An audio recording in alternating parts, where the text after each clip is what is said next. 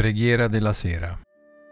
Al termine di questa giornata mostraci ancora, o oh Signore, la tua misericordia.